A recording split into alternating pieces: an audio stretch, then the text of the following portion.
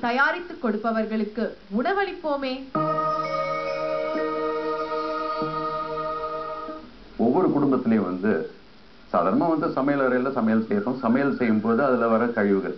இந்த கழிவுகள் வந்து நார்மலாகவே நீங்கள் அவங்களுக்கு தெரியும். ரெண்டாக பிரித்து பேசுகிறோம் இல்லையா? ஒன்று வந்து மக்க மக்கக்கூடிய கழிவுகள். அதாவது மக்கும் தன்மை உள்ள கழிவுகள். அதை அதை வந்து பயோடிகிரேடபிள் அப்படின்னு சொல்லியிருக்கோம். இன்னொரு பக்கம் வந்து மக்க மக்காத கழிவுகள் அதாவது நான் பயோடிகிரேடபிள் அதில் இந்த பிளாஸ்டிக்கு பாட்டில் அதெல்லாம் தனியாக கொடுத்துருவோம். இப்போ அந்த மக்கக்கூடிய அந்த கழிவுகள் தட் இஸ் பயோடிகிரேடபிள் வேஸ்ட் இதை வந்து கொண்டு போய் நாங்கள் வெளியே கொட்டுறோம் ஏன்னா அதனுடைய அருமை தெரியாமல் கொட்டுறோம். இதை வந்து ஒரு கழிவுன்னு நாங்கள் பார்க்கக்கூடாது இது ஒரு மூலப்பொருள். அதாவது மூலப்பொருள் எந்த விஷயத்துலன்னா இதில் இருக்கிற மாதிரி நியூட்ரியன்ஸ் வந்து உங்களுக்கு வாங்குற எந்த ஒரு ரசாயன கெமிக்கல் ஃபர்டிலைசர்லேயும் கிடையாது. இது வந்து ஒரு ஹாலிஸ்டிக் நியூட்ரிஷன் ஒரு நீங்கள் செடியோ கொடியோ வீட்டில் வளர்த்தீங்கன்னா வீட்டில் வந்து காய்கறியோ அல்லது கீரை போட்டாலும் அதுக்கு ஒரு அருமையான உணவு அப்படின்னு பார்க்க போனீங்கன்னா அந்த உணவுடைய மூலப்பொருளே இந்த கழிவுகள் தான். அதனால் இன்னிலிருந்து நீங்கள் அந்த கழிவை கழிவுன்னு பார்க்காம அதாவது நான் சொல்கிறதுன்னா இந்த மாதிரி வீட்டிலேருந்து இருந்து வர அந்த கழிவுகள் இந்த கழிவை நீங்கள் தயவு செய்து கழிவுன்னு பார்க்காம இது ஒரு மூலப்பொருளாக பார்க்கணும். என்னென்ன இருக்குது இந்த மாதிரி வெங்காயத்தோல் பழத்தோல் வாழைத்தோல் அப்புறம் இந்த தீத்தூள் இது இந்த மாதிரி இருக்கிற பொருட்கள் எல்லாம் நீங்கள் வந்து இனிமேல் வந்து எடுத்து வெளியே போடக்கூடாது. சரி வெளியே போடக்கூடாதுன்னா என்னங்க பண்ண முடியும்? சாதாரண ஒரு சின்ன ஒரு பக்கெட்லேயும் பண்ணலாம் நீங்கள் தண்ணி மட்டும் தேங்கி நிற்கக்கூடாது இது மட்டும் உங்களுக்கு கண்டிப்பாக ஞாபகம் இருக்கணும். நீங்கள் ஒரு பால்ட்டியில் கூட இதை தயாரிச்சீங்கன்னா அந்த பால்ட்டியில் கீழே தோலை இருக்கணும். எதுக்காக சொல்ல வரேன்னா இது வந்து மக்கி போனாதான் எருவாகும். தண்ணி அதிகமாக இருந்துச்சுன்னா அது அழுகி போகும். அழுகி போச்சுன்னா துர்நாற்றம் வரும். அதுக்கப்புறம் உங்களுக்கு தான் தெரியும். உங்களுக்கு பிடிக்காம போயிடும். சரி இந்த மாதிரி ஒரு தொட்டி ஒரு சாதாரண குடும்பம் ஒரு ஆறு ஏழு பேர் இருக்கிற குடும்பத்துக்கு இந்த மாதிரி ஒரு குப்பை தொட்டி மாதிரி ஒரு குப்பை தொட்டி. ஈஸியாக கிடைக்குது. இல்லை கிணத்தோரன்னு சொல்லி வாங்கிக்கோங்க. இல்லை பிளாஸ்டிக் பேரல் ஏதாவது ஒன்று வாங்கிக்கோங்க. இப்போ நீங்கள் கேட்பீங்க இது எதுக்குங்க மேலே மூடி வச்சிருக்கிறீங்கன்ட்டு. ஒன்றும் கிடையாது. நாங்கள் கழிவு பொருள் போடுறோம் இல்லைங்களா? நாளைக்கு இந்த காக்கா குருவி எடுத்துன்னு போய் பக்கத்து வீட்டில் போட்டாங்கன்னா வீணா சண்டை வரும் சச்சர் வரும். அதுக்காக தான் மேலே ஏதாவது போட்டு மூடி வைக்கணும். அதுக்கு நான் இந்த மாதிரி தான் வலை வேணுமா? தேவையில்ல. ஒரு சாக்கு கூட போட்டு மூடி வைக்கலாம். அதனால வந்து ஏதாவது ஒன்று கொஞ்சம் அப்படியே அடக்கி வைக்கிறதுக்காக ஆனால் காத்து போகணும். இப்போ நீங்கள் பார்க்கலாம் இந்த மாதிரி இருக்கிற தொட்டியில் வந்து கீழே என்னங்க இருக்கு? கீழே வந்து கருங்கல் இருக்குது எதுக்கு கருங்கல் கொடுக்குறோம்?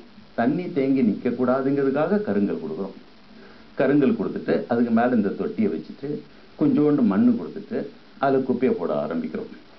அப்போ குப்பையை நாங்கள் கொஞ்சம் கொஞ்சமாக இந்த மாதிரி வேஸ்ட்டை நாங்கள் போடும்போது அந்த வேஸ்ட் நல்லா இருக்கணும் சிறப்பாக இருக்கணும் அப்படின்னு பார்க்கும்பொழுது அந்த வேஸ்ட்டுக்கு வந்து நாங்கள் என்ன பண்ணணும்? கொஞ்சம் மைக்ரோபியல் இனாக்குலம் கொடுக்கலாமா? கொடுக்கலாம். நுண்ணுயிர். நுண்ணுயிருக்கு இனாக்குலம் அப்படின்னு சொல்கிறோம் அது வந்து எப்படி கொடுக்கலாம்? எப்படி வேணாலும் கொடுக்கலாம். ஒன்று சாணி இருந்துச்சுன்னா கொஞ்சோண்டு சாணி எடுத்து தண்ணியில் கலந்து தெளிச்சு விடலாம். நீங்கள் உடனே சொல்வீங்க என்ன சார் நான் சிட்டியில் இருக்கிறேன். சாணி எங்கே சார் கிடைக்க போகுது? சரி சாணி வேண்டாம். நல்ல மண் இருக்கா? தண்ணியில் ஊற வைங்க ஒரு ரெண்டு மூணு நாள். அதுக்கப்புறம் அந்த த- அந்த ம- அந்த தண்ணியை தெளிச்சு விடுங்க. மண்ணு கூட இல்லை சார் தயிர் இருக்கு இல்லையா? புளிச்ச தயிர் நல்ல புளிச்ச தயிர். அது தண்ணியில் கலந்து நல்லா டைல்யூட்டாக மோர் மோரோட டைல்யூட் அதை தெளிச்சு விடுங்க.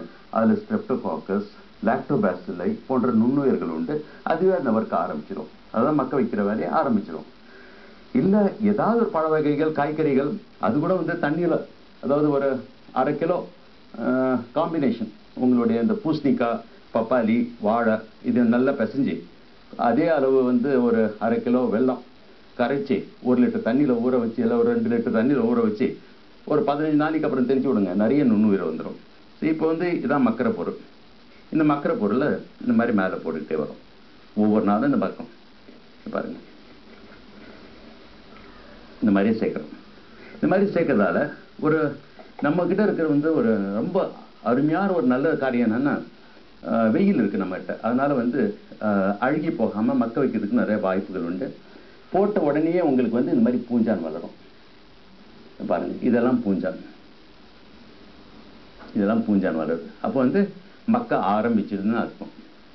மக்க ஆரம்பிச்சிருது. சரி ஆரம்பிச்சிருந்தது சரியாக தான் இருக்கான்னு பார்த்தீங்கன்னா கொஞ்சம் இதில் கையை வச்சு பார்த்தா தெரியும்.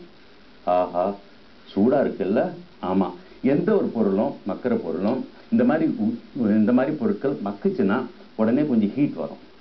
அதனால தான் வந்து எடுத்தவொடனே இந்த மாதிரி மக்கிற பொருளை மண்புழு தயாரிக்கணும்னு நினைச்சிட்டு அதில் கொண்டு போய் மண்புழு போடக்கூடாது. மண்புழு செத்துரும்.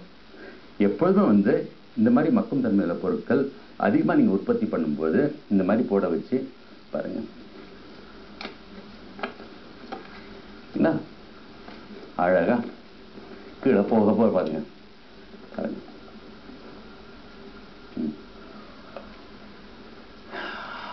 நல்ல மண் வாசனை வர ஆரம்பிச்சது. இப்போ இது வந்து ரெடி ஆகி போச்சு இது ரெடி ஆன பிறகு தான் இதை கொண்டு போய் நாங்கள் வந்து மண்புழு கொடுத்தோம்னா மண்புழு எது சாப்பிட்டு சிறந்த மண்புழு எரு தயாரிக்க முடியும். இதே வந்து நீங்கள் வர முப்பது நாளும் முப்பத்தி நாளைக்கு அப்புறம் இதை கூட எருவாக உபயோகிக்கலாம். ஆனால் நல்ல குவாலிட்டி வேணும். இன்னும் நல்ல ஸ்டாண்டர்டைஸ் வேணும். நல்ல குவாலிட்டி கம்போஸ் வேணும்னா இதை வந்து மண்புழு கொடுத்தீங்கன்னா மண்புழு எது சாப்பிட்டு அதில் மண்புழு எரு தயாரிக்கும். மண்புழு எரு தயாரிப்பது எப்படி?